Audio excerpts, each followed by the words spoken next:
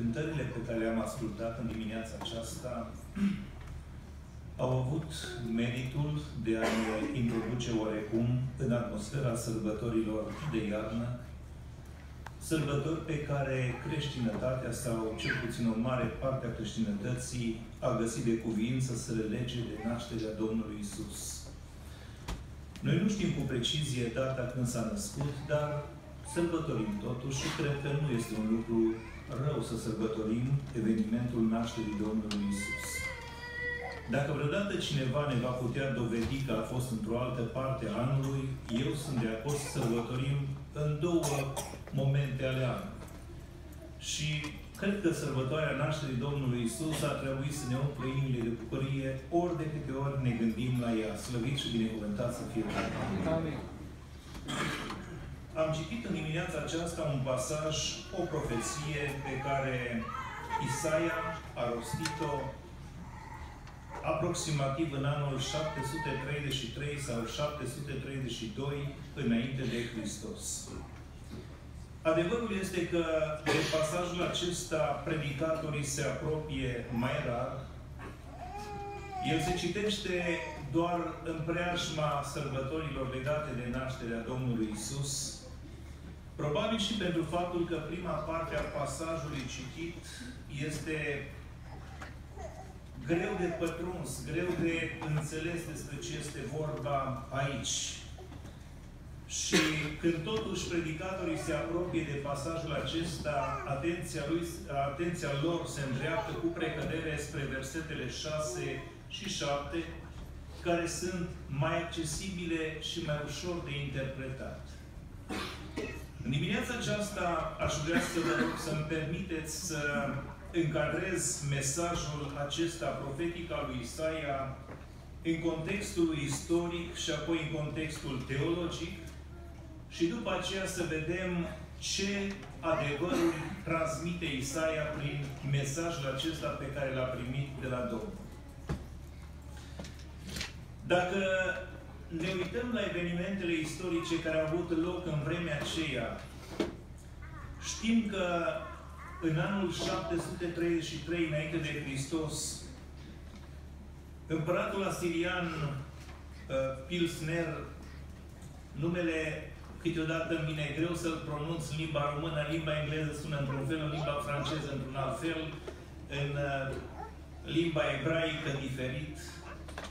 Dar ceea ce vreau să spun este că împăratul acesta asirian, un împărat foarte crud, a încercuit Damascul și l-a cucerit, l-a asediat și l-a cucerit. Și tot în, în perioada aceea, el a întins mâna și împotriva teritoriului locuit de poporul lui Dumnezeu și a ocupat prin forță ținutul locuit de Zabulon, de Neftali și o parte din ținutul locuit de Asher. Numele acestor ținuturi este numele vechi, dacă vreți, pentru că el datează cam din vremea lui Iosua. De când poporul lui Dumnezeu a cucerit țara sfântă și a împărțit teritoriul și de atunci, pentru câteva sute de ani, ținuturile acelea erau numite după semințiile lui Israel care locuiau în zona respectivă. Era, dacă vreți, o pagină de rușinoasă istorie în istoria poporului lui Dumnezeu.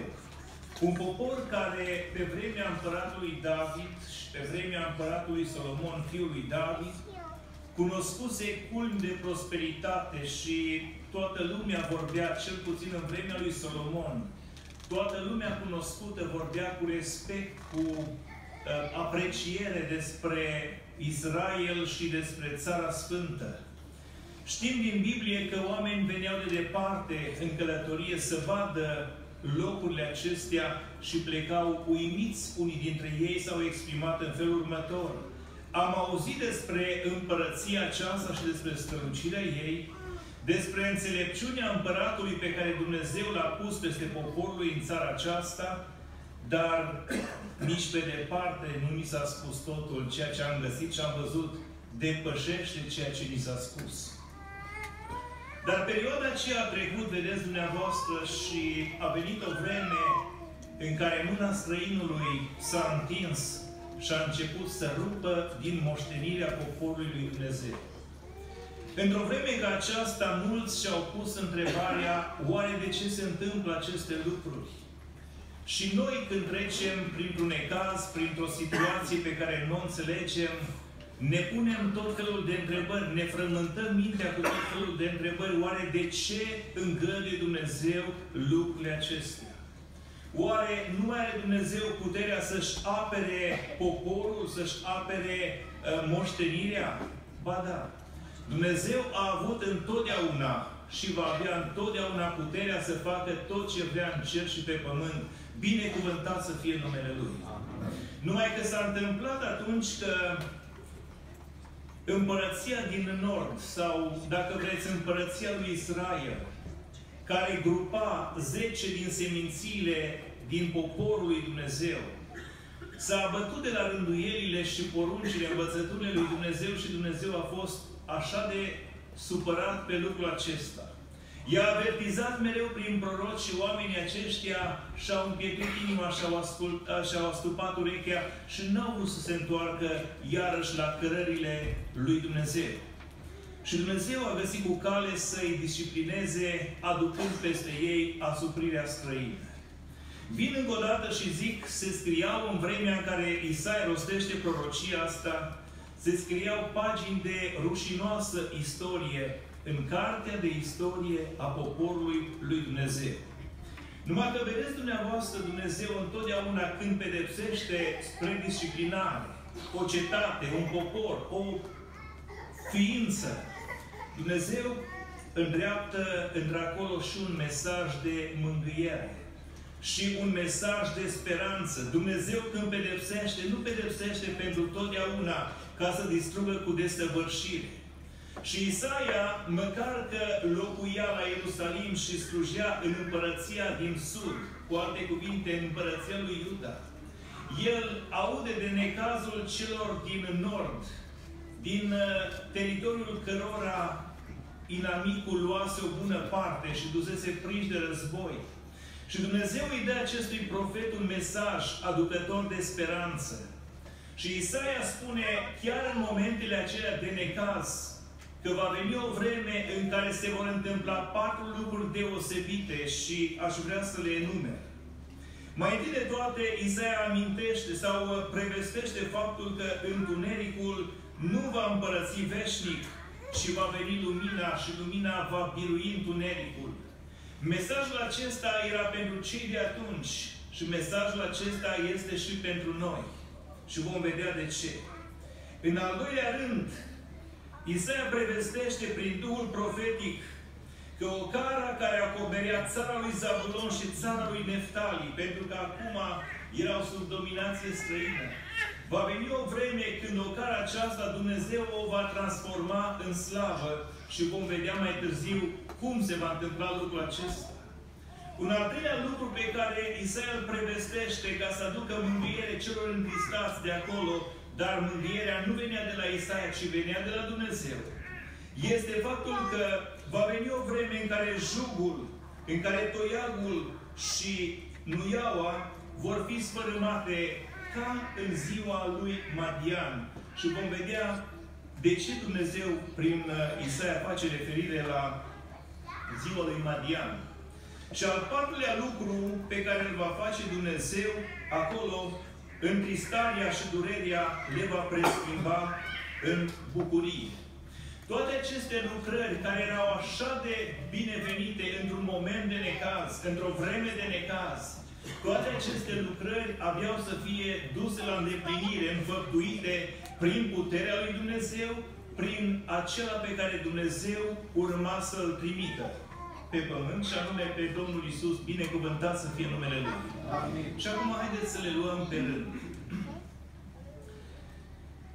Din punct de vedere spiritual, întunericul a fost întotdeauna asociat cu păcatul a fost întotdeauna asociat cu necazul. Și Isaia spune, poporul care umbla în întuneric vede o mare lumină. Verbul acesta, a umbla, aici are sensul de a trăi. Și ceea ce spune Isaia este următorul lucru. Poporul acesta care trăiește acum într-o stare de păcătoșenie, poporul acesta va fi cercetat de Dumnezeu și va avea parte de o mare lumină. Poporul acesta va ajunge să cunoască o vreme de cercetare și vremea aceasta abia să se împlinească atunci când Domnul Isus Hristos abia să-și înceapă lucrarea publică. Dacă veți citi începutul Evangheliei după Matei, veți vedea, așa cum am văzut și eu, că lucrarea Domnului Isus Hristos nu a început la Ierusalim, ci a început tocmai în ținuturile acestea, care în vremea Domnului Isus aveau să se numească Galileea sau, dacă vreți, Galileea Neamului. Lucrarea Domnului Isus avea să înceapă acolo și Dumnezeu a hotărât să aducă lumina în locul acela în care întunericul era puternic. Mesajul spunea mai înainte că era pentru cei de atunci, dar mesajul acesta este și pentru noi. Câteodată ca și creștini care încerci să fii curat înaintea lui Dumnezeu, încerci să te păstrezi curat, neafectat de stricăciunea din lume, încerci să-ți educi bine copiii, să-i îndrepti pe calea lui Dumnezeu. Câteodată te uiți în jurul tău și te cuprinde îngrijorarea să vezi că lumea aceasta se strică tot mai mult. Parcă niciodată nu a fost întunericul păcatului în lumea aceasta atât de gros ca în lumea de astăzi. Pentru că nu doar că cei ce fac păcatul numesc răul bine și binele rău, dar prin sistemul de legi pe care l-au pus în vigoare, în aplicare, ei până și nouă vor să ne interzică să numim răul rău și binele rău. Nu e numai vorba că ei îl numesc așa, dar nici pe noi nu ne mai lasă să numim răul rău și să numim binele bine. Și câteodată ne cuprinde descurajarea și ne întrebăm, Doamne, oare cum vom reuși să trăim curat și frumos înaintea Ta? Cum vom reuși vreodată să putem să ne educăm copiii bine când societatea din ziua de astăzi încearcă să smulgă din inimile copiilor noștri adevărurile frumoase ale Bibliei, adevărurile despre tine? Și cuvântul acesta lui Isaia se îndreaptă și spre noi. Isaia spune așa de frumos, Întunericul nu va împărăți veșnic pe pământul în care acum este necaz. Eu pun întrebarea, frații mei, surorile mele, este necaz pe pământul acesta? O, este foarte mult. În vremea aceasta, poate la fiecare secunde, la fiecare 10 secunde, moare un copil de inaniție, adică de foame. Sunt atât de multe război și atât de multă nedreptate, dar Cuvântul lui Dumnezeu este aducător de speranță.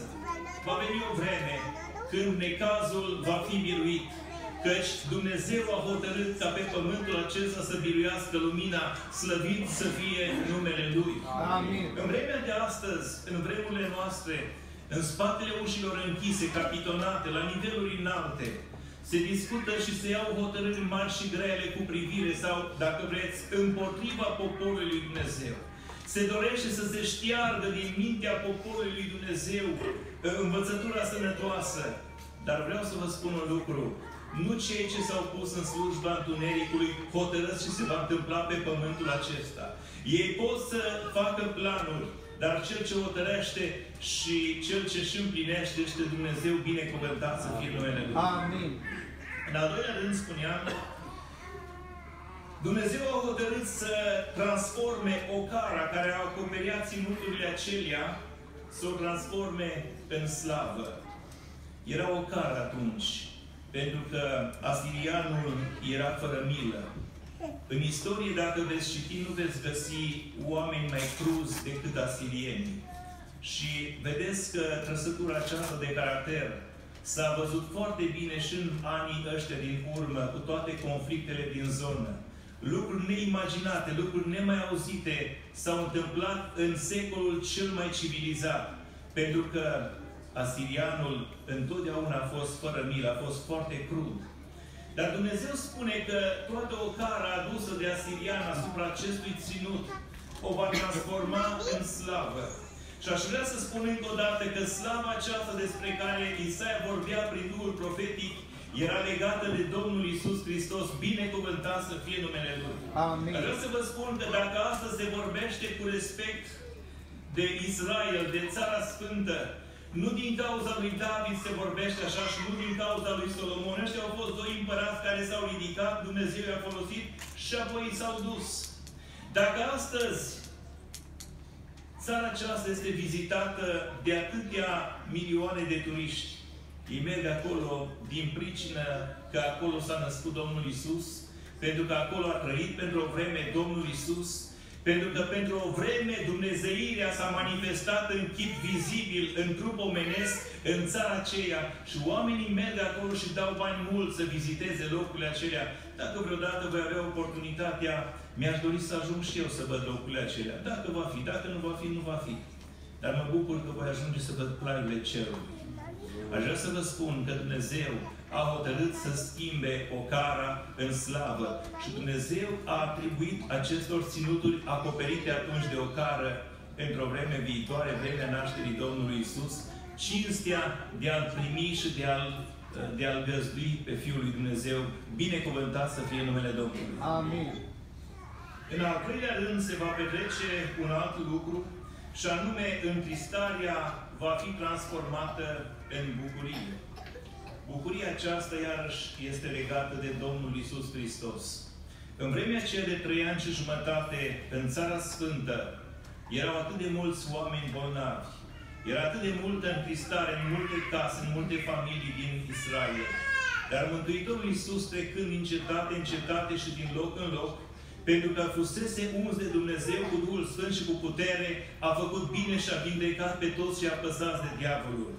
El a avut o influență așa de minunată asupra poporului în vremea aceea, asupra celor întristați și necăjiți, asupra celor lipsiți de speranță și le-a redat iarăși pofta de viață și bucuria și puterea de a munci și de a-și câștiga pâinea. Binecuvântat să fie Domnul. Amin. În al, treilea, în al patrulea rând, Isaia prevestea o vreme în care jugul care apăsa asupra lor va fi spărâmat, la fel și toiagul și nuiaua. Și aceste referiri sunt simboluri care aminteau poporului lui Dumnezeu de vremea în care ei au fost robi în Egipt și de vremea în care, chiar ajungând în țara Canaan, erau sub apăsarea străină. Și spuneam că se face aici o referire la ziua lui Madian.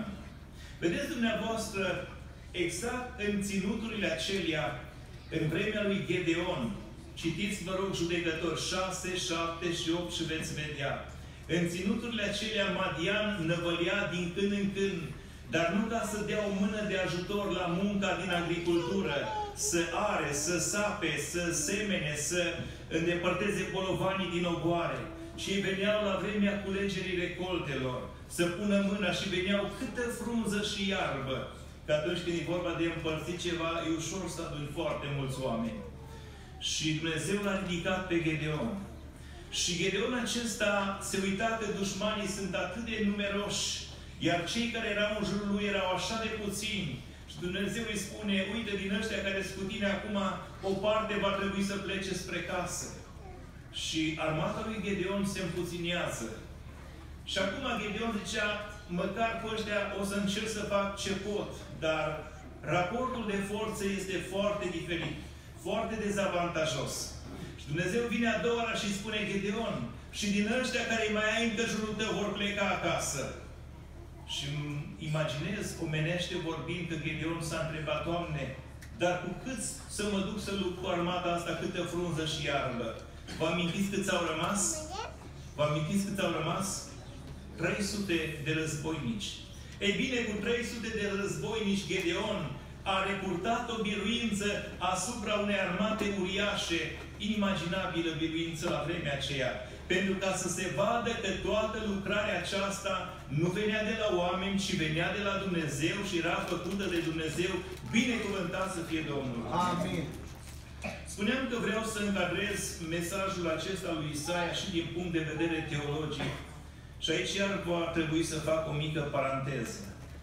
Eu știu că în inimile dumneavoastră aveți o anumită rezervă când auziți cuvântul teologic sau cuvântul teologie sau, în general, orice are de a face cu teologia.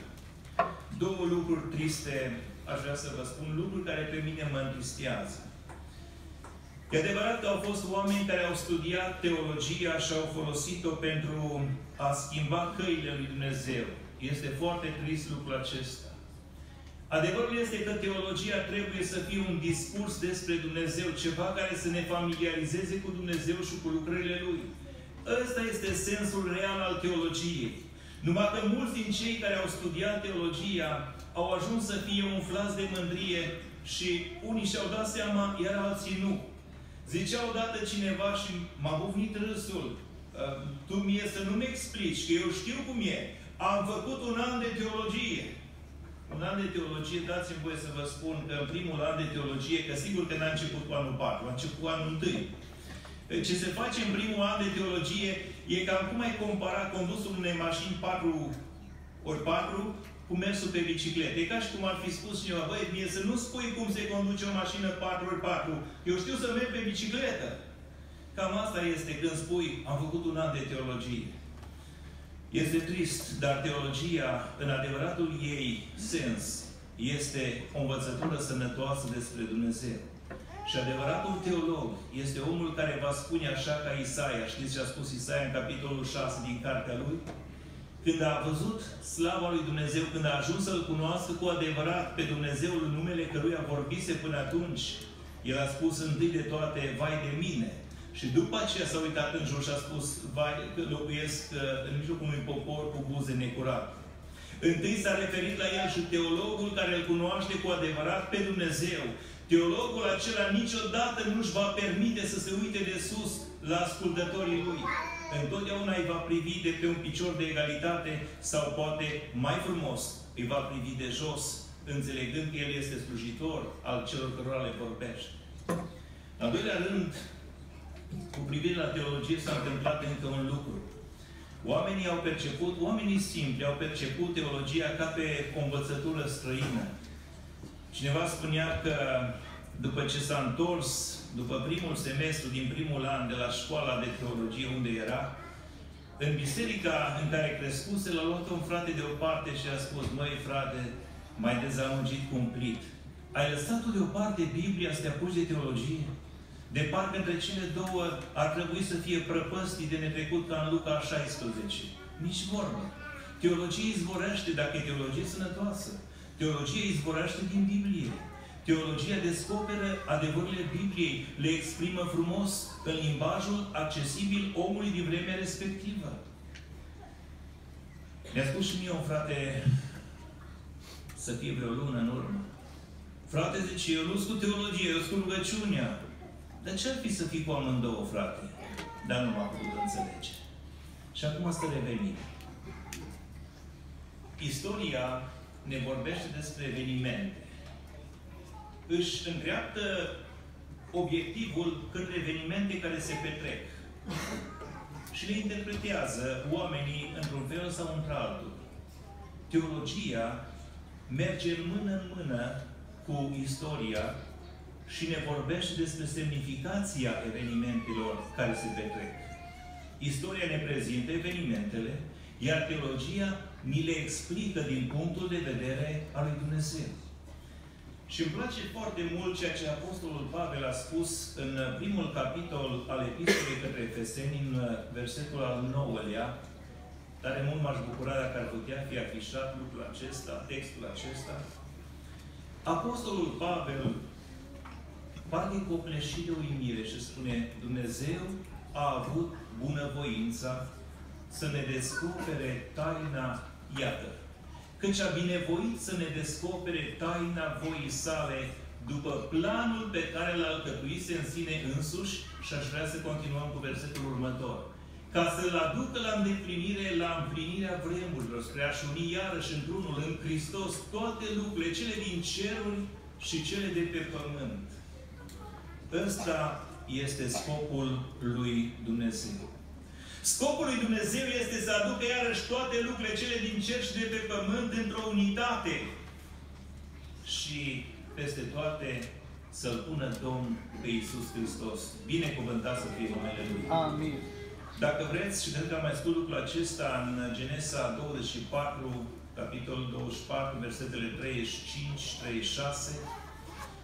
Robul lui Avram, aflat în uh, Haran, în căutare de nevastă pentru fiul stăpânului său, el spune, eu sunt robul lui Avram.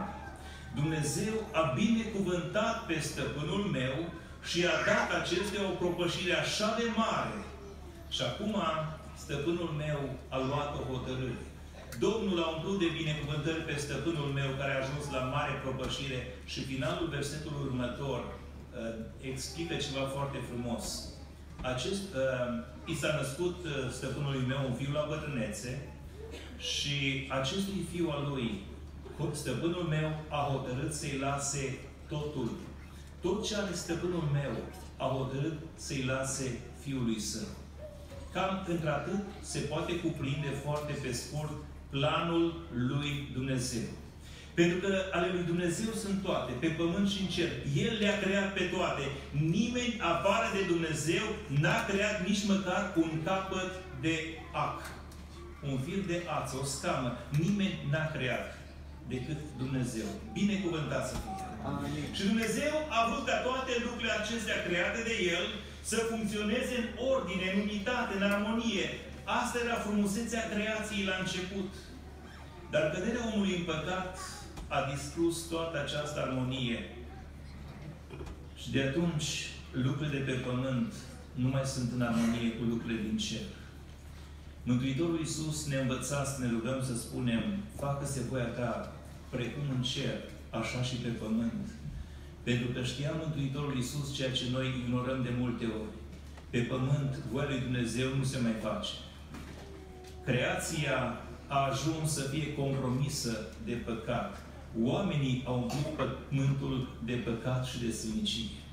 Și scopul lui Dumnezeu este să restaureze creația. Ar fi putut foarte simplu să o nimicească printr-un singur cuvânt, cum a adus-o în existență prin cuvânt. Dumnezeu putea să o nimicească printr-un singur cuvânt și să spună, scriu din nou, fac din nou totul. Așa cum valul mării șterge de pe nisip urmele pașilor, și apoi altcineva trece pe acolo și face alte urme de pași. Așa ar fi putut Dumnezeu să nimicească totul, să șteargă totul, să facă o altă creație încă de atunci, dar Dumnezeu a hotărât să recupereze, să restaureze creația. Și a început atunci istoria mântuirii. Istoria aceasta a mântuirii avea la origine, avea la bază un plan, planul lui Dumnezeu. Planul lui Dumnezeu era să-L facă pe Hristos stăpân și moștenitor al noii creații. Și l-a ales pe Domnul Isus pentru că El, dacă vreți, El se califica cel mai bine pentru poziția aceasta.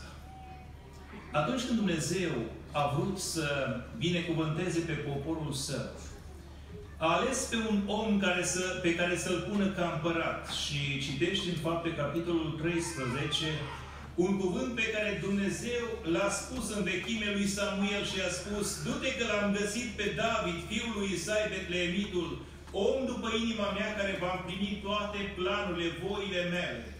Și două lucruri în acest cuvânt spus de Dumnezeu lui Samuel, două lucruri sunt foarte importante.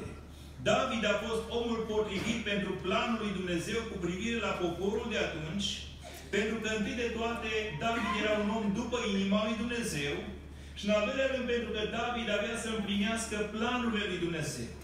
N-avea cum să împlinească planurile lui Dumnezeu de n-ar fi fost după voia lui Dumnezeu și după inima lui Dumnezeu. Și aș vrea să spun că aceste două cerințe, a fi după inima lui Dumnezeu și a împlinit planurile lui Dumnezeu, aceste două cerințe și-au atins punctul maxim, apogeul în Isus Hristos, binecuvântat să fie El. Dumnezeu a hotărât să-L trimită pe El în lumea noastră și El este alesul. El a fost după inima lui Dumnezeu pentru că despre El Dumnezeu a dat mărturie și a spus Acesta este Fiul meu prea iubit. În El îmi găsesc toată plăcerea mea. În al doilea rând, Dumnezeu a știut că, trimițându-L pe Isus, Isus va face voia Tatălui, indiferent cât de mult ar costa această împlinire a voii lui Dumnezeu. A fost un singur moment în care a existat poate o mică discrepanță Dar spun lucrul acesta cu oarecare teamă, ca nu cumva să fiu înțeles greșit. L-am mai amintit odată și o să mai spun și acum. Un singur moment a existat în întreaga viață pământească a Domnului Isus, în care se pare că a existat o mică discrepanță între voia lui Dumnezeu Tatăl și voia Domnului Isus. Momentul Ghețimani. Când Domnul s-a rugat totuși și a zis, totuși, nu cum voiesc eu, ci cum voiești tu. Dar nu o să intru prea mult în detalii asupra acestor cuvinte, că sunt prea adânci ca să le, să le lămurim acum. Ce vreau să spun este că Domnul Isus a împlinit ca nimeni altul voia lui Dumnezeu în toate detaliile, indiferent cât de mult l-a costat lucrul acesta. Și chiar și pe cruce a acceptat să stea pentru păcatele noastre, pentru că era scris în planul lui Dumnezeu. În felul acesta lucra mântuirea noastră. Isaia vine și spune, și acum o să revin la pasajele, uh, pasajul versetelor 6 și 7. Căci un copil ni s-a născut, un fiu ni s-a dat și domnia va fi pe umărul lui. Îl vor numi minunat, sfetnic, Dumnezeu tare, Părintele veșnicilor, Domn al păcii. Sunt numite aici patru sau chiar cinci nume ale Domnului Isus. Și vreau să vă spun că în gândirea vremii de atunci, atât în Israel cât și la neamurile din jur, numele reflecta într-o anumită măsură caracterul persoanei care îl purta. De aceea numele acestea sunt foarte importante. Ele vorbesc despre Domnul Isus, despre caracterul Lui, despre persoana Lui. M-am uitat aici la noi, între minunat și sfetnic, apare o virgulă, ca și cum ar fi vorba despre două nume diferite. În cele mai multe traduceri, aceste două cuvinte apar împreună, sfetnic minunat. Pentru ca cineva să se califice pentru poziția de sfetnic, se cere înțelepciune. În vremea de atunci, cel puțin se cerea înțelepciune. Acum, ca să fii consilier într-o poziție înaltă, este suficient să ai relații. Sau să fii în partidul care câștigă alegerile și imediat prinzi un post de consilier pe la o primărie și nu faci nimic toată ziua, dați-mi un salariu bunicel și dacă apare vreo oportunitate, ești primul care află și ți-o pe ea. Atunci, ca să fii consilier, sau sfătuitor sau sfetnic, se cerea înțelepciune. Și dați-mi voie să vă spun, oricât de multă înțelepciune a avut împăratul Solomon, s-a ridicat prin îndurarea lui Dumnezeu cineva mult mai înțelept decât el și acesta a fost Domnul Isus. Binecuvântat să fie Domnul! Amin. Despre înțelepciunea Domnului Isus am putea vorbi zile întregi. Te uiți în Evanghelii și de atâtea ori a știut să răspundă celor ce veneau cu întrebări încuietoare la el. Frământau farisei și cărturarii mintea lor săptămâni întregi, luni întregi, întrebări care mai de care mai grele, cu care să vină să-l prindă, să-l facă de rușine în fața poporului că nu știe să răspundă. Și Mântuitorul Iisus le dădea câte un răspuns și se retrăgeau iar în cuibul lor și ziceau, măi, iară, iară ne-o, ne-o încurcat socotele, să găsim altă întrebare. Aș putea să vă spun multe, dar am să vă spun ceva despre ce am citit în capitolul 2 al Evangheliei după Luca. La 12 ani, băiatul Iisus, așa se exprimă Evanghelia, și-a însoțit părinții, se pare, pentru prima dată pe picioarele lui la Ierusalim cu ocazia sărbătorii praznicului, a Paștelui. Sărbătoarea a trecut și acum galileienii se întorceau în convoi acasă. Au plecat și au călătorit timp de o zi părinții lui Isus, părinții pământești, fără să constate că El nu este în grupul acela. Credeau că este cu alți băieți de seama Lui. Dar când au ajuns la locul de popas spre seară, când au căutat și au văzut că nu este, s-au îngrijorat și s-au întors la Ierusalim. În Ierusalim l-au căutat timp de trei zile. Știți unde l-au găsit? În fața unei vitrine cu jocuri electronice, console și alte lucruri de felul ăsta. De trei zile stătea nemâncat și se uita la ele. Acolo l-au găsit. Nu. L-au găsit în templu. În curtea aceea unde se purtau dezbateri teologice. Învățători bătrâni lămureau celor doritori să afle legea lui Dumnezeu. Și învățători mai puțin experimentați stăteau deoparte și ascultau. Acolo era Isus. Și citește în versetul 47, toți cei ce l-auzeau rămâneau uimiți de priceperea și răspunsurile lui. Încă de atunci și-a dovedit înțelepciunea. Și ultimul verset din Luca 2 spune că Isus creștea în înțelepciune. N-a rămas la stadiul la care a fost apreciat la 12 ani. Aș vrea să vă spun, dragii mei, că înțelepciunea se dovedește în alegeri. Atunci când părinții lui Isus nu erau cu el, el ar fi putut să leagă orice. Să fie stat lângă o șauarmerie de asta, să fi uh, mirosul ăla, să fi mers într-un loc unde, uh, mă rog, e amuzament, un circ, ceva, uh, să, să, că nu în fiecare zi vii la Ierusalim, dar a ales să stea acolo unde se vorbește din Cuvântul lui Dumnezeu. Și vreau să spun copiilor și tinerilor de la 12 ani în sus, înțelepciune este să știi să lași consola deoparte și să citești Cuvântul lui Dumnezeu. Să știi să lași jocurile mai deoparte și să pui genunchiul pe podea și să te închini celui prea înalt. Asta duce la înțelepciune. Jocurile, o spun, nu am nu știu cum să vă spun, pe mine nu mă prind niciodată. Poate de aceea pot să vorbesc deschis despre ele. Jocurile n-au făcut niciodată pe nimeni înțelept sau inteligent. Jocurile poate au dezvoltat mușchii degetelor și o anumită stare de nervozitate. Uitați-vă să vedeți. Dar înțelept, jocurile n-au făcut pe nimeni. N-au făcut pe nimeni. Pare rău că sunt și oameni mari care pierd ceasuri întregi și se joacă. Și când spun lucrul acesta, nu mă refer la frații mei, mă gândesc că voi nu faceți așa. Am colegi la lucru care mă spun, dar ce e rău în jocul? Și eu cum mă duc acasă, stau 5 ore, foarte bine faci, foarte bine faci. Să ai niște mușchi extraordinari, sănătate gozată. Mântuitorul Iisus a putut să fie minunat sfetnic pentru că El a fost plin de înțelepciune. Și cei ce urmează, îl urmează pe El și păstresc pe urmele Lui, au și ei înțelepciune din înțelepciunea Lui, binecuvântat să fie Domnul. Amin. În al doilea rând, El va fi numit Dumnezeu tare. Vedeți? Și aici ați putea să le spuneți și martorilor lui Jehova. Mântuitorul Iisus este numit în Biblie Dumnezeu. Voi contestați calitatea asta. E treaba voastră, o să dați socoteală. M-a întrebat odată unul, frate sau domnule, ce, cum ar fi dacă dumneata pe un soldat l-ai numi general? Băi, soldatul ar putea să se bucure sau ar putea să fie puțin deranjat, să spună, băi, uite bine, la mine. Dar l-am întrebat eu pe celălalt interlocutorul meu, cum ar fi să-i spui unui general, băi soldat, ia vino și fă bocanci. Și nu mai am avut ce să-mi răspundă la treaba asta, că aici era pericolul mai mare, să te adresezi unui general cu titlul de soldat. Isus este Dumnezeu tare și a dovedit lucrul acesta. Până și dușmanii lui au recunoscut că el avea o putere și ar fi vrut să știe de unde are puterea aceasta. În Matei 21 găsim scris că în zilele acelea Iisus s-a dus în templu, vorbim despre zilele de după intrarea triumfală în Ierusalim.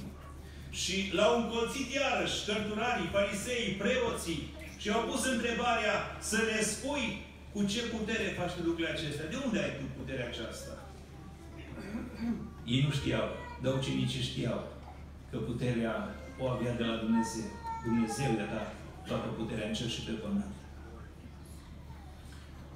Dumnezeu și-a arătat puterea în creație spunând să fie și lucrul cerut a luat ființă. Să fie cu tare lucru și a luat ființă. Pentru că în cuvântul lui Dumnezeu era putere. Dar și în cuvântul Domnului Isus este putere. De aceea Sutașul Roman a zis, zi doar un cuvânt.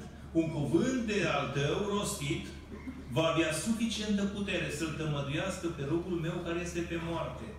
De aceea nu greșim dacă îl privim pe Isus ca și Dumnezeu tare. Binecuvântat să fie El. Amin. Apoi, stă scris aici că El va fi numit Părinte al veșniciilor. Și aici mulți și-au prins urechile pentru că au zis, că nu se poate. Voi vorbiți despre Trinitate, despre Dumnezeu Tatăl, despre Domnul Isus pe care îl numiți Dumnezeu Fiul și despre Duhul Sfânt pe care îl numiți Dumnezeu Duhul Sfânt. Păi dacă este Dumnezeu Fiul, cum poate să fie El și Părinte al veșniciilor?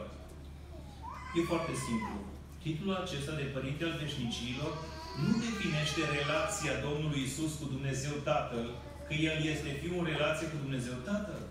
Titlul acesta definește relația Domnului Isus cu timpul. Pe noi timpul ne zdrobește sub trecerea Lui. nu e așa? Au trecut peste noi 10 ani și lasă urme. Nici n-ai văzut timpul, dar urmele trecerii Lui peste tine le vezi. Oricât ai tot pune farm și vopsele și alte lucruri, mai bine nu le pui. Pe noi timpul ne zdrobește. Un poet moldav ziceam despre o punte dintre două maluri. Era o punte strivită de vreme. Se exprima foarte frumos. Dar Isus, Isus este deasupra timpului. El este Domnul vieții. Pe El, anii care trec, nu-L afectează cum ne afectează pe noi. El poate să fie numit pe bună dreptate Părinte al veșniciilor. Era cu Dumnezeu Tatăl de la început și va exista pentru totdeauna, că vor vrășmașii Lui sau că nu vor. El este deasupra timpului. Binecuvântat să fie. El este și Domnul al păcii. Pentru că El aduce pacea. Celui cu inimă tare spunea profetul din vechime, tu îi ești pace. Și dacă Domnul dă pace, ducea un alt personaj din cartea Iov, dacă Domnul dă pace, cine poate să o tulbure? Aș vrea să vă spun, cei care l-au pe Iisus în vremea aceasta, în inima lor, în viața lor, se pot bucura de pace într-o lume frământată, pentru că Iisus este Domnul păcii. Un singur lucru vreau să mai amintesc din uh, versetul următor, un lucru foarte important. Se vorbește despre o împărăție care va fi întărită și va fi sprijinită prin judecată și neprihănire. Cuvântul judecată ar putea să ne facă să ne întrebăm, da, nu scrie în Biblie în altă parte să nu ne judecăm, să nu judecăm. Ba da, dar aici judecată este folosit cu sensul de discernământ, de alegere înțeleaptă, dreaptă, corectă. Deci, împărăția va fi întărită prin discernământ, prin deosebirea binelui de rău și prin neprihănire. Aceste două lucruri întăresc o împărăție. Aceste două lucruri întăresc o biserică. Aceste două lucruri întăresc o familie. Aceste două lucruri întăresc o persoană. Discernământul corect și preocuparea după neprihănire. Poate că vă uitați la bisericile mari care au strategii foarte bine puse la punct. Spuneți, măi, slujitorii de acolo sunt oameni foarte chipzuiți. Uite ce management. Aș vrea să vă spun un lucru. În lucrarea lui Dumnezeu, biserica locală se întărește, spiritual vorbind, prin discernământ corect și prin preocuparea după neprihănire. O biserică în care nu se mai spune lucruri pe nume, o biserică în care preocuparea pentru neprihănire s-a stins, să știți că ea poate să fie numeric oricât de mare, aia organizație pământească, nu o confundați cu biserica. Adevărata putere a bisericii vine sau izvorăște din aceste două lucruri. Dintr-un discernământ corect și dintr-o preocupare constantă, stăruitoare pentru neprihănire. Domnul să pună și în inimile noastre aceasta. Amin. Amin. Mă opresc aici. Domnul să ne binecuvânteze pe toți. Dimineața aceasta ne-am, putea, ne-am putut bucura cu toții de părtășie unii cu alții, de părtășie în rugăciune, părtășie cu Domnul, părtășie în cuvânt. De aceea vreau să mulțumim Domnului și vă invit să ne ridicăm în picioare. Dimineața aceasta a fost împreună cu noi fratele Vasile Verenceanu și vreau să rog să ne conducă în această rugăciune.